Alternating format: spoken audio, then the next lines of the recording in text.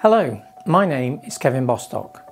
I am the Group Chief Assurance Officer and I oversee the implementation of the patient safety strategy and the individual components of that, such as the Patient Safety Incident and Response Framework, which will fundamentally change the way we learn from incidents and patterns of intelligence with a greater emphasis on involving patients. 17th of September 2023 marks World Patient Safety Day. This year the theme is Engaging Patients for Patient Safety in recognition of the crucial role patients, families and caregivers play in the safety of healthcare.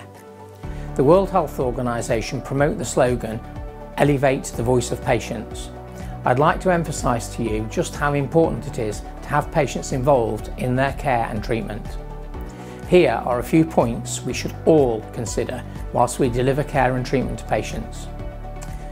Safe healthcare is a fundamental right of all Patients and family engagement is key to developing safer health systems. Patients and families should be involved at every level of healthcare planning and delivery. And finally, no one should come to harm as a result of receiving care and treatment. At Walsall Healthcare NHS Trust, we have launched a campaign which empowers patients to ask questions about their care and treatment. This is so that they can be more informed to make decisions in partnership with us to better understand what is being recommended to them.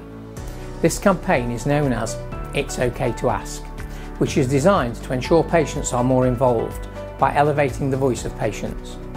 If you haven't got any supporting materials in your area for It's OK to Ask, please reach out to the patient experience team for further information.